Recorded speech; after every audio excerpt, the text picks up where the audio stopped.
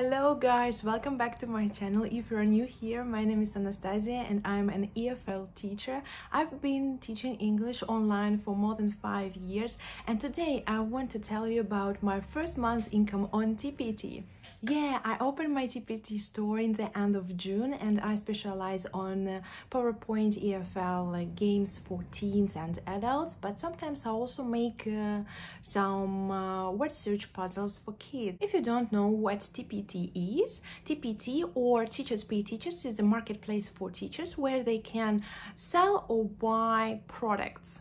Products are different activities which teachers uh, use in their lessons. For example, different worksheets, um, puzzles, games, uh, presentations, lesson plans, and so on. So in my first month on TPT, I created 35 products. My shop got 344 views and I've got one follower. If you're a follower of my shop, thank you very much for following me. I know that I shouldn't really expect any sales in summer because teachers enjoy their vacations and they simply just don't care about school yet. But I got two sales in the beginning of July. So I've made my first sale after four or five days being on TPT and I think that's amazing. I sold one and the same product two times and uh, guess what the product was? Of course, it was seasonal. It was devoted to the Independence Day in the US. And after the 4th of July, I sold nothing. But I continued working on my products. How much I earned on TPT in my first month? $3.05.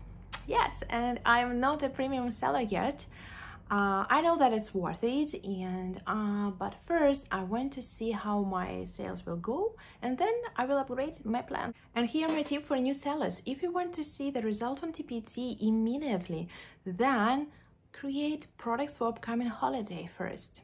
In this way, you'll see that TPT does work and you'll stay motivated to continue and develop your store. That's it for today. Let's see what will happen in the next months.